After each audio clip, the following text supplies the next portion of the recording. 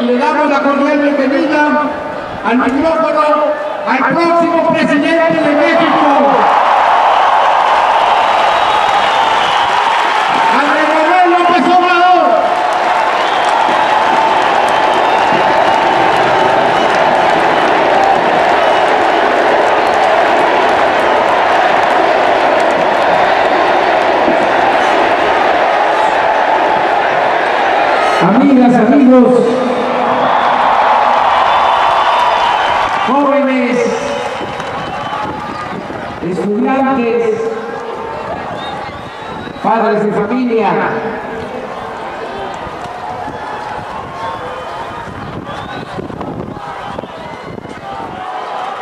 Me voy a apoyar en un acordeón que hice de la casa para acá, porque no tengo mucho tiempo para hacer discursos. Además, no se trata de dar un discurso. Se trata de hablar con franqueza y con el corazón en este acto.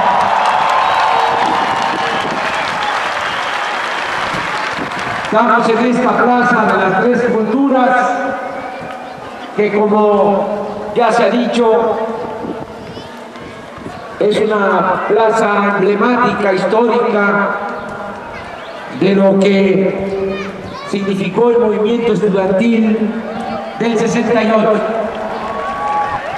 Rendimos homenaje a todos los estudiantes, maestros del 68 al estar aquí. Refrendamos nuestro compromiso de seguir luchando en contra del autoritarismo y por la democracia. Ese movimiento surgió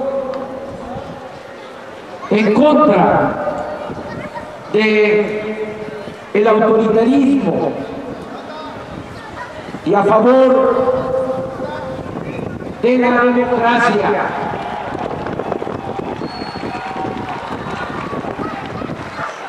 Con ese movimiento se inició una etapa nueva en la vida pública de nuestro país.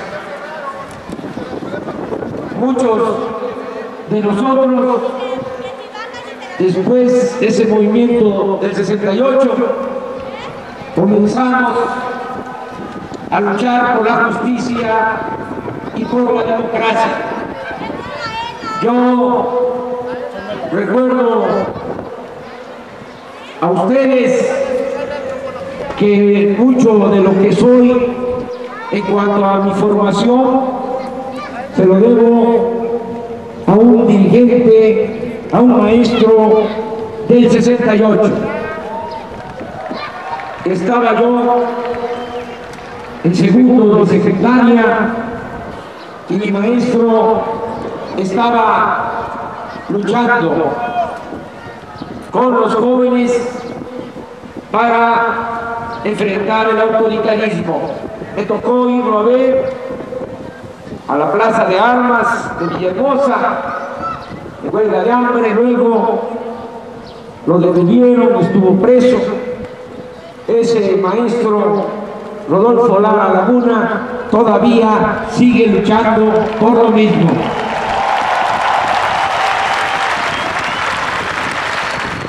Llegué a estudiar a esta extraordinaria ciudad 1973 no hace mucho me inscribí en la Facultad de Ciencia Política de la UNAM. Ahí terminé de formarme con extraordinarios maestros fue una época muy importante para la ciencia social y para la ciencia política, porque en toda América Latina se estaba luchando contra las dictaduras. En ese entonces tuvimos la influencia, el gran ejemplo de ese presidente extraordinario Salvador Allende.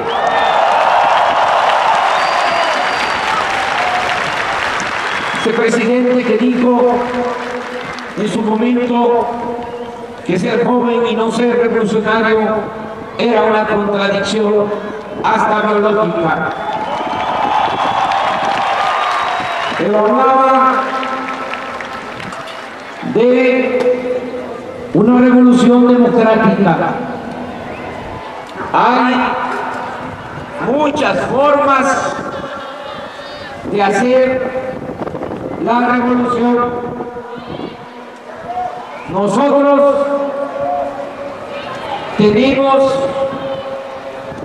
nosotros tenemos que distinguir bien las vías para la transformación de nuestro país. No despreciamos a quienes piensan que es la vía armada una posibilidad para lograr la transformación de los pueblos. Pero aquí quiero dejar de manifiesto que con todo respeto a quienes piensan de esa manera, nosotros sostenemos de que vamos a luchar siempre por la vía pacífica y por la vía electoral.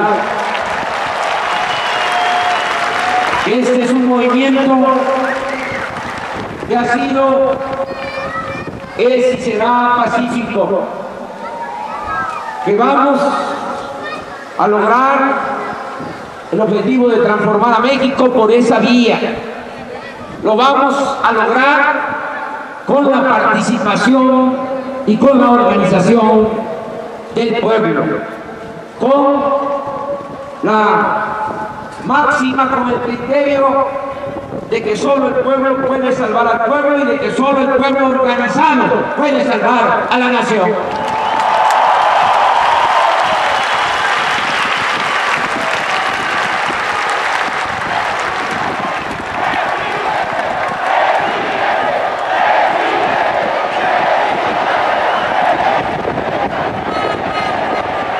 Mi generación puede ser como la generación de la transición democrática. Se empezó a luchar desde los años 70 por la apertura democrática en el país. Se ha avanzado a pesar de todo. Se fue poco a poco avanzando y en 1988 se generó un gran movimiento por la democracia como respuesta a la política neoliberal que empezaba a imponerse desde 1983. Ese movimiento del 88 fue la primera manifestación en contra de la actual política neoliberal. Por eso participaron muchos ciudadanos y tuvieron que recurrir al fraude electoral para arrebatarle la presidencia de la República al ingeniero Cuauhtémoc Cárdenas Solórzano. Después del 88 se continuó luchando por lo mismo, por lograr la transición democrática, la alternancia, luego de mucho tiempo de predominio en un solo partido. En el 2000, con el esfuerzo de muchos ciudadanos, se logró que por primera vez perdiera el PRI la presidencia de la República. Muchos participaron en ese movimiento y también muchos jóvenes que se entusiasmaron porque creyeron de que se iba a llevar a cabo un verdadero cambio. Se dio la transición, la alternancia, pero las cosas no cambiaron. Fue el atopartismo. Eso que consiste en que las cosas en apariencia cambian para seguir igual. Se engañó a la gente. Seguimos luchando y a partir del 2006, ya con mucha claridad, se inició el movimiento por la transformación de nuestro país. Ya ustedes conocen esa historia. Los que dominan, los que mandan, los que no quieren ningún cambio para México, porque aunque al pueblo le vaya mal, aunque le vaya mal al país, a ellos siempre les va bien, nos cerraron el paso, nos arrebataron la presidencia de la República.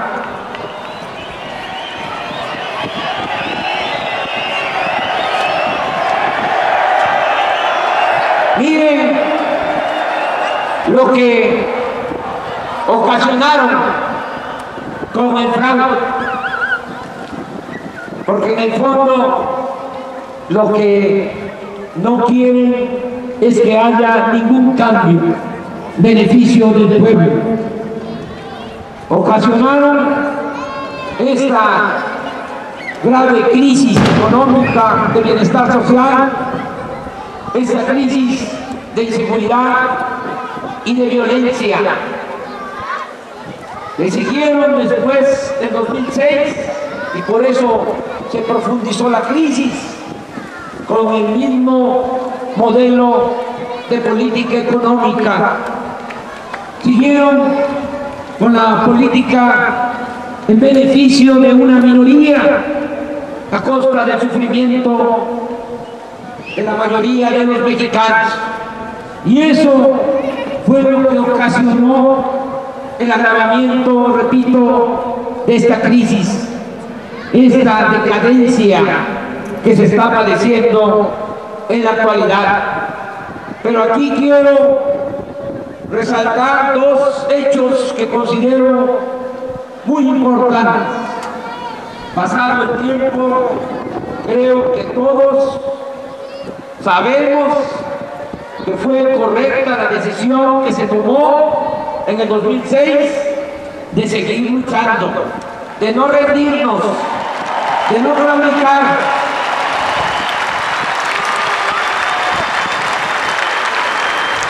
hasta lograr el objetivo superior que tenemos, que es la transformación del país. Esto fue decisivo, porque si nos hubiésemos hecho un lado, si hubiésemos claudicado, si hubiésemos transado con la élite del poder, hoy no existiría este movimiento que es, lo digo sin ninguna duda, la única opción, la única alternativa la única esperanza para millones de mexicanos.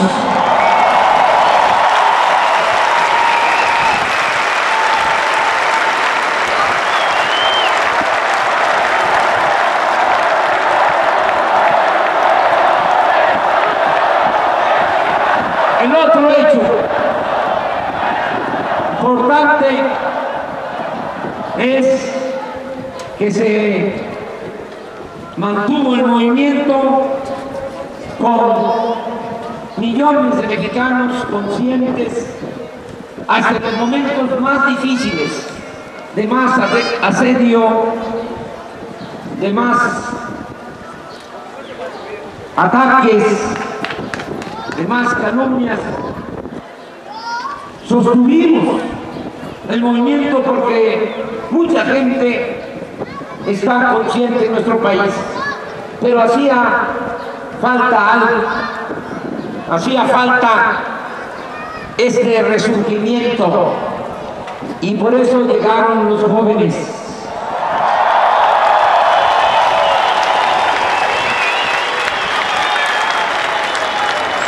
que ahora están ya a la vanguardia del movimiento, que son el motor del cambio verdadero.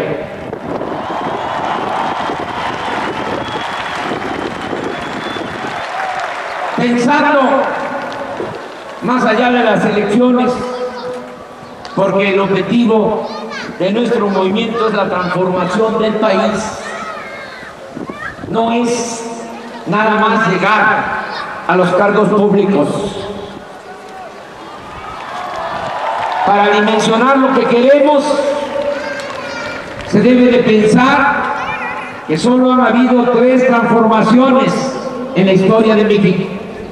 La independencia, la reforma, la revolución y nosotros queremos llevar a cabo la cuarta transformación de la vida pública de México.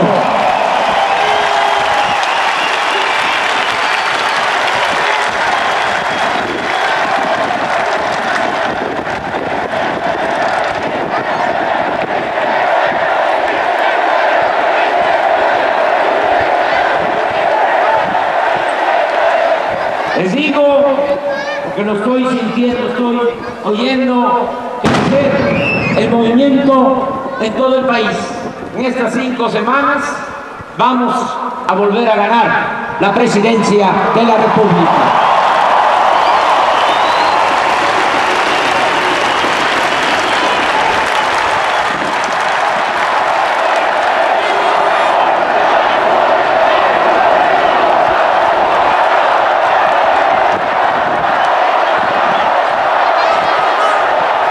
Por eso les invito a todas, a todos ustedes, todos los jóvenes de México, les invito para que juntos trabajemos en estos días, para que nos apliquemos a fondo y logremos esa hazaña de transformar por la vía pacífica a nuestro país.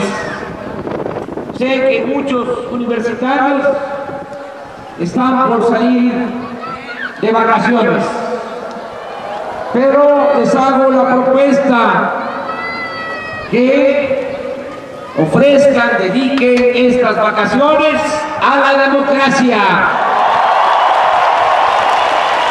a trabajar por la democracia. Hacemos ese compromiso. Les pido que nos ayuden en tres tareas que son fundamentales en estos 40 días que faltan. Que sigan informando y orientando, como lo vienen haciendo, con toda la creatividad que han de desplegar en las redes sociales.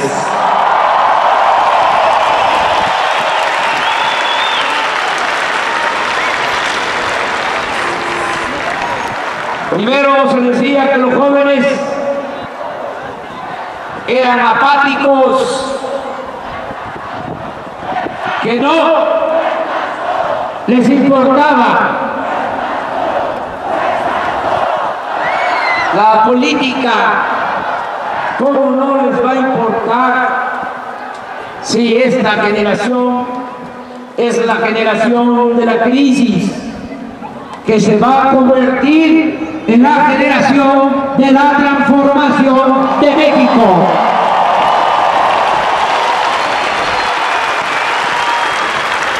Es la generación del agravio y del desagravio. de la injusticia y de la justicia, de la antidemocracia y de la democracia, de la tristeza y de la felicidad de todos.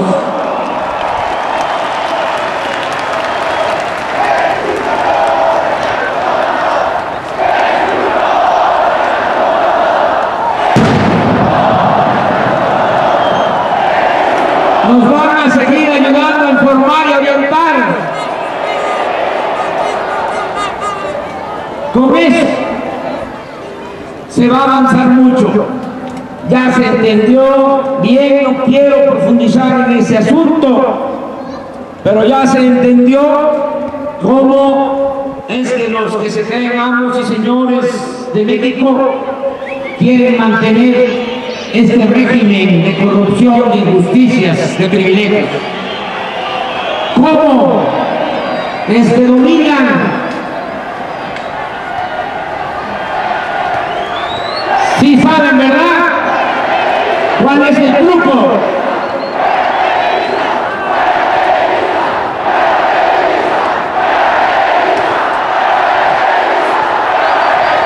Pensaba que iba a ser fácil con la mercadotecnia, con la publicidad, engañar a la gente y que iban a seguir administrando la ignorancia en el país. Nada más que no tomaron en cuenta que los jóvenes son mucha pieza. Mi respeto a los jóvenes.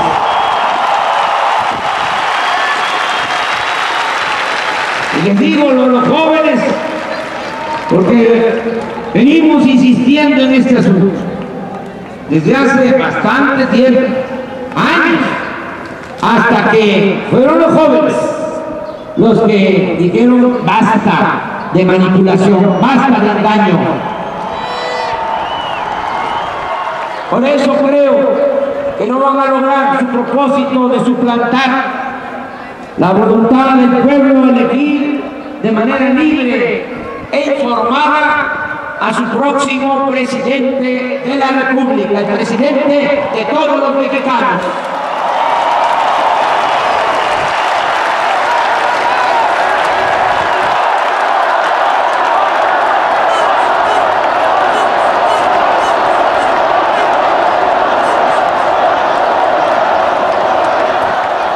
Les pido también que nos ayuden a hacer conciencia, a convencer a más ciudadanos como protagonistas del cambio verdadero. Que cada joven consciente como ustedes se haga cargo de convencer a cinco ciudadanos más. Hay que aprovechar estos días que todavía hay clases en las distintas universidades, tanto universidades públicas como en universidades particulares. Esto también es un elemento nuevo, esta unidad que se está dando entre estudiantes de universidades públicas y universidades particulares. Todos los jóvenes juntos por la democracia. Nos van a ayudar a convencer a más jóvenes.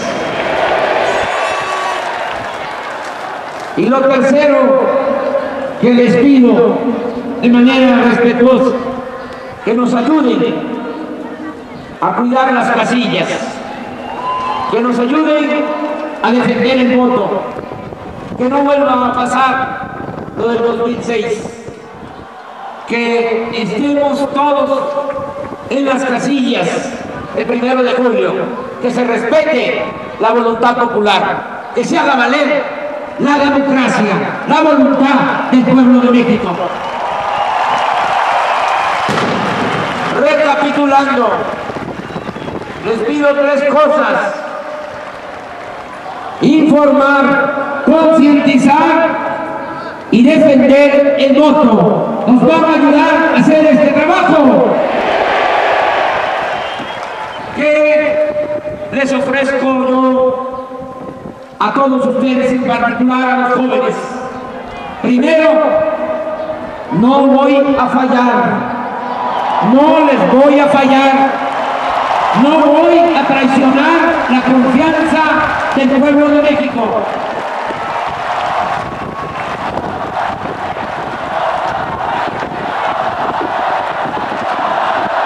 Es en serio. No voy a fallarles.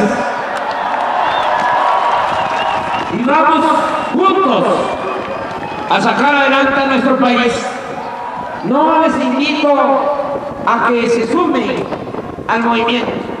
Les invito a que juntos transformemos a México. A eso les invito. Con su independencia, con sus libertades, sin necesidad de afiliarse a ningún partido. De ese movimiento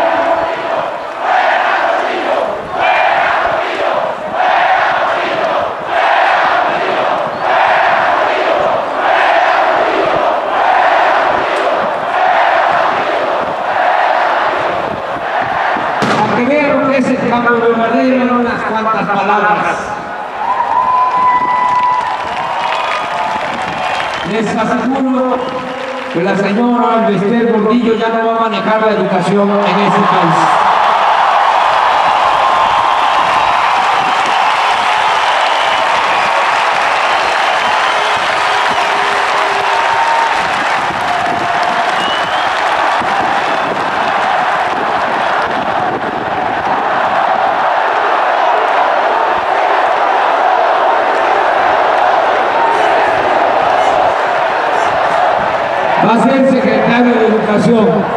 De la Fuente.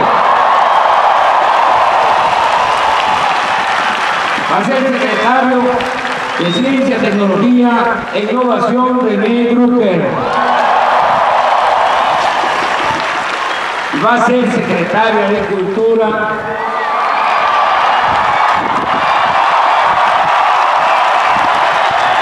Elenita Poniatowska. ¿Qué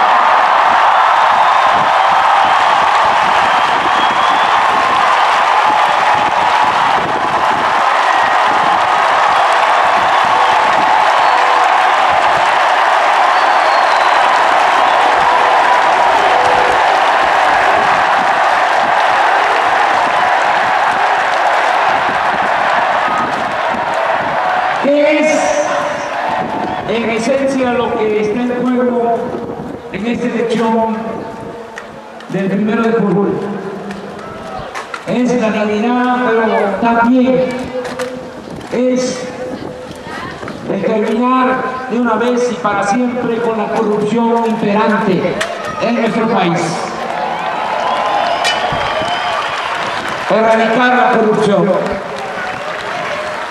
Y con eso, y con un plan de austeridad republicana, vamos a tener recursos, vamos a tener dinero. Me comprometo a ser guardián del presupuesto público, que es dinero de todo el pueblo. Me comprometo a que ese presupuesto se va a manejar con honradez y se va a distribuir con justicia. Ya no va a haber un gobierno al servicio de una minoría. Ya el gobierno no va a estar convertido en un comité al servicio del 1% de los mexicanos. Va a ser un gobierno de todos los mexicanos. Va a haber autoridad que va a representar a ricos y pobres, a los que viven en el campo y a los que viven en la ciudad, a los jóvenes, adultos mayores, a los niños, a las familias de México. Vamos también a gobernar para los que simpatizan con nosotros, pero también para nuestros adversarios. se van a garantizar las libertades de todos los mexicanos. quiero que quede muy claro, es algo que me sale en el corazón, de lo más profundo de mi alma, de lo que soy. No estoy acostumbrado a simular, a fingir. Siempre digo lo que siento. Les digo a ustedes que no queremos venganza, queremos justicia. No es mi fuerte la venganza. No odios, no rencores. Vamos a inaugurar una etapa nueva en la vida pública de nuestro país. Vamos a levantar a México con producción, con trabajo. Ese es un tema que quiero tratar posteriormente con ustedes y que voy a exponer más adelante a detalle. Estoy haciendo el compromiso de que desde los primeros días del próximo gobierno vamos a ir casa por casa, departamento por departamento, apuntando a los jóvenes, inscribiendo a los jóvenes, incorporando a los jóvenes al trabajo y al estudio.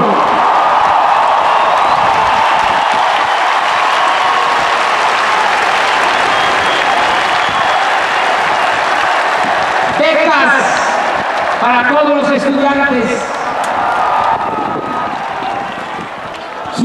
100% de inscripción a todos los estudiantes en las universidades públicas.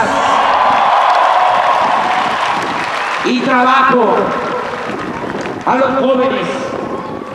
Nunca más vamos a cerrar las puertas a los jóvenes. Vamos a estar siempre con ustedes Vamos a construir el futuro con los jóvenes. Yo no voy a divorciarme del pueblo.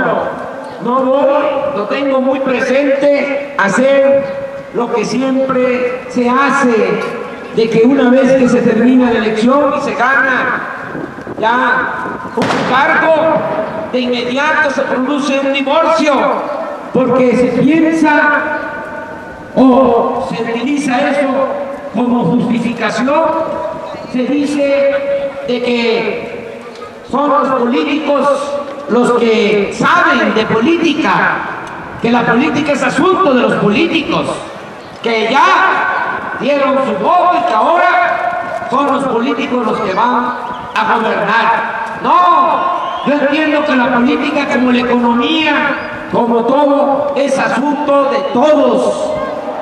La política es asunto de todos. Yo no voy a divorciarme de la gente. Vamos a gobernar con el pueblo, se los aseguro. Además, es una necesidad si me divorcio de la gente después de triunfar en julio, no vamos a poder llevar a cabo las reformas. Y eso es lo más importante. No es que yo me siente en la silla presidencial, lo más importante, repito, es la transformación del país. Si yo no tengo el apoyo permanente, constante del pueblo, cuando yo quiera llevar a cabo una reforma, porque van a seguir existiendo grupos de intereses creados, grupos de presión, no vamos a desterrar a nadie, no vamos a mandar a nadie en al exilio. Ya lo dije, vamos a garantizar las libertades plenas a nuestros adversarios. Y cuando no les guste algo, pues se van a oponer. Si no contamos con el apoyo de los ciudadanos, no llevaríamos a cabo ninguna reforma. Sería un fracaso rotundo. De eso estoy muy consciente. Por eso vamos a tener siempre el acompañamiento del pueblo. Yo voy a convencer, a persuadir a todos, se los aseguro, hasta a los que les ha ido mejor, los que tienen más dinero, voy a convencer a los dueños de los medios de comunicación de que hace falta la democratización de los medios de comunicación en México. Les digo, nada por la fuerza, todo por la razón y el derecho.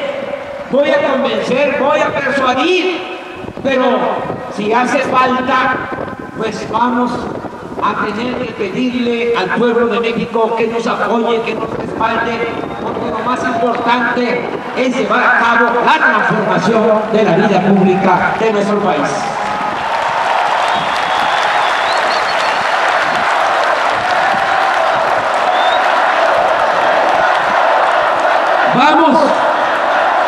Acelerar a México con trabajo, con educación, con justicia.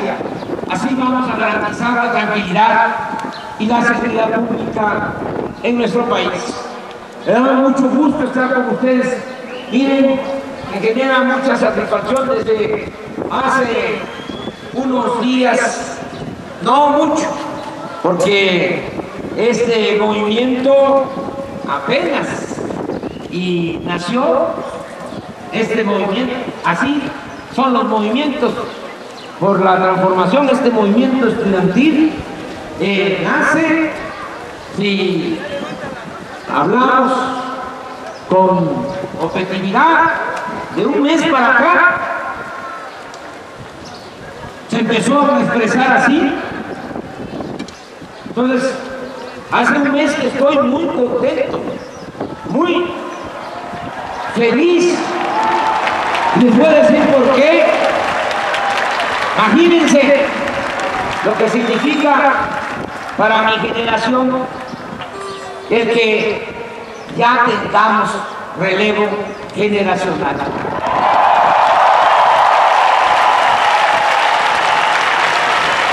Ya tengamos a quien entregarle la estafeta.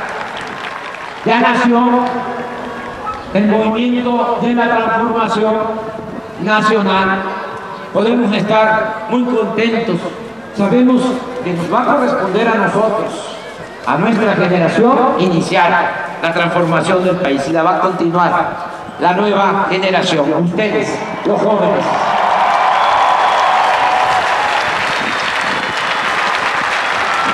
Muchas gracias por todo su apoyo.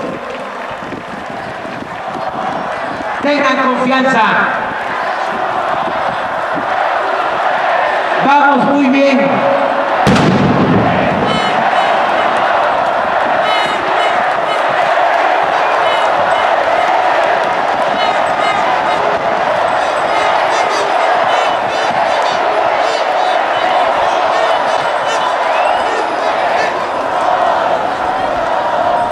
Que viva la generación de la transformación. Que vivan los jóvenes. Que vivan los estudiantes. Que viva el pueblo de México. ¡Viva México!